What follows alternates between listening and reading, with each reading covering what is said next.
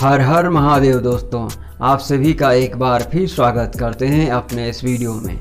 इस वीडियो में हम आपको बताएँगे कि अगर आप सपने में, रात्रि में आप शिवलिंग के दर्शन करते हैं, जैसा कि हम बता रहे हैं कि शिवलिंग के दर्शन करना शिवलिंग आपके स्वप्न में आ चुका है। आपने दर्शन किए हैं, या उसकी पूजा अर्चना की है, या आपने एक से अधिक शिवलिंग देखे हैं तो भगवान शंकर हमें कौन सा संकेत देना चाह रहे हैं? कौन सा इसका स्वप्न का फल प्राप्त होगा? हम कौन सा कार्य करें और कौन सा कार्य न करें? हमारे लिए आने वाला भविष्य कैसा रहेगा? तो हम इस वीडियो में सभी प्रकार की जानकारी देने वाले हैं। तो हमारे इस वीडियो को ज़्यादा से ज़्यादा देखें और ज़्यादा से ज़्यादा शेयर करें। क्योंकि हम सटीक और अच्छी से अच्छी बेहतर जानकारी आप तक पहुँचाने का लगातार प्रयास करते रहते हैं। हमारे चैनल को भी सब्सक्राइब करें और ज़्यादा से ज़्यादा आप लोगों तक इस वीडियो को पहुँचाने के लिए शेयर करें। तो चलिए दोस्तों, हम स्टार्ट करते हैं वीडियो को। अगर आप सपने में भगवान शिव के शिवलिंग रूप को देखते हैं, क्योंकि शिवलिंग भगवान शंकर का ही रूप होता है, इसलिए शिवलिंग के दर्शन करना आपके लिए भगवान शंकर के दर्शन करने के बराबर होता है।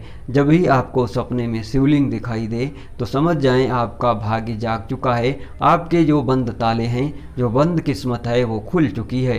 आप अपने जीवन में आप नवीन घटनाओं के दर्शन करेंगे नए नए शुभ समाचार प्राप्त करेंगे, और जो कार्य करेंगे, उसमें आपको काफ़ी अधिक लाभ होगा।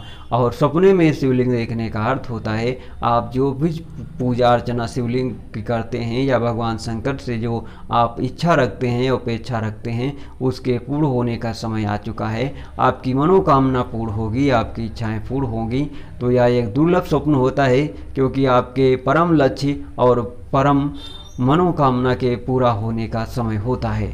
जब भी आपको सपने में शिवलिंग दिखाई दे तो समझ जाएँ भगवान शंकर की कृपा आप पर बरस रही है। इस समय आप ऐसे जटिल से जटिल, कठिन से कठिन कार्य करें, जिसमें आपको निश्चित सफलता प्राप्त होगी।